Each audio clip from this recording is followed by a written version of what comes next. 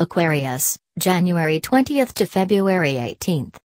More than once, you've thought about what you'd say during your mother or father or best friend's funeral.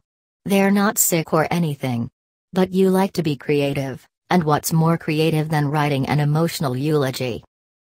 Aries, March 21st to April 19th. You're always thinking about death.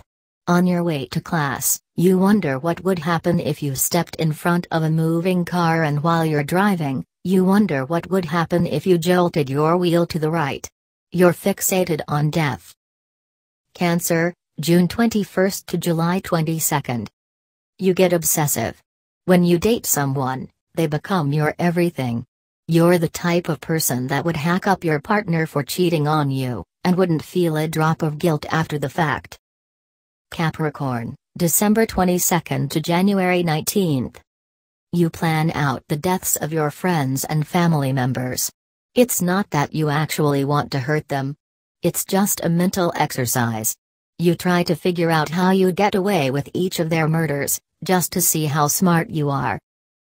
Gemini, May 21st to June 20th. You're a skilled liar. You can come up with stories out of the blue and force people to believe them. Sometimes, you lie just for the fun of it. Just to see if you can get away with it. And you always do. Leo, July 23rd to August 22nd. Sometimes, you picture your own funeral. You imagine who would show up first. Who would cry the loudest. Who would be the most torn apart by your death. It's a sick fantasy that makes you feel important. Libra, September 23rd to October 22nd. Your YouTube history, Wiki history, and Netflix history is creepy af. You've watched some pretty disturbing shit. If the government ever gets a hold of your computer, they'd easily mistake you for a serial killer. Pisces, February 19th to March 20th. When you daydream, you think about terrifying things like what would happen if someone tried to shoot up your office. In your fantasies, you picture yourself as the hero.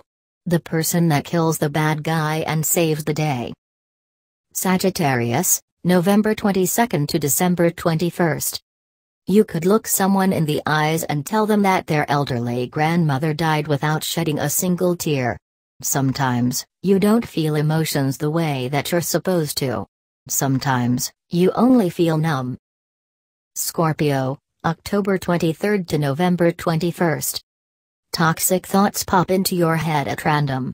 When you're holding a baby animal, you think of how easily you could crush it. When you're walking by a pretty lady, you think of how quickly you could push her into the middle of the street. You would never actually do those things. But you think about them all the time. Taurus, April 20th to May 20th. You're a stalker. You could spend hours looking through Instagram and Facebook pages. And if your crush, or ex, is in a picture with someone pretty, you'll find that person's page and look through all of their stuff.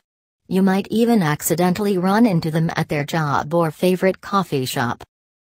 Virgo, August 23rd September 22nd. You re an innocent little angel during the day, but when it has nighttime and you re fantasizing about sex, some pretty bizarre things cross your mind. Things you wish you weren't he turned on by.